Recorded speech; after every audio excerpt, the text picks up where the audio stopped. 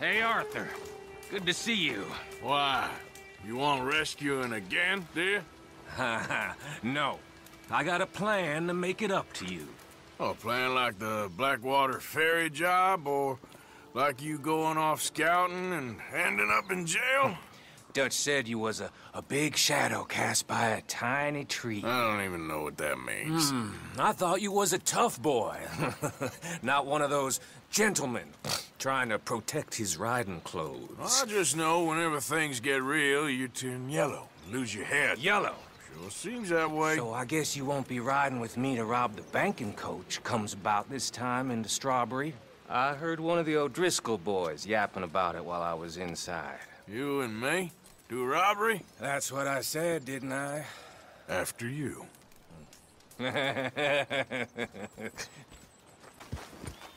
They should be here in a little bit. Hold tight.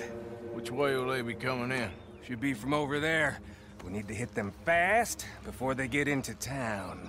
Just don't lose your head this time. Of course, tough guy. They should be here any minute. Look, there they are.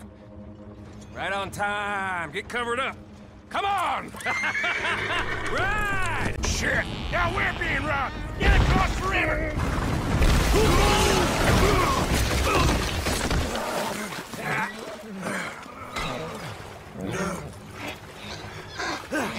What the hell?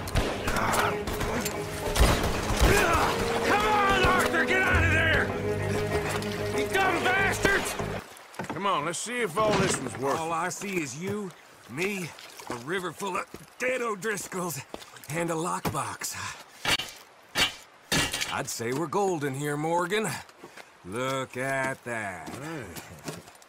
What's the cut here? It's good. Just make sure the gang gets its piece. Yeah, yeah. Like I said, big shadow, tiny tree. And like I said, that still don't mean nothing. Get out of here. Go see Dutch. Make sure you ain't followed. I know, boss. I know. It's been fun.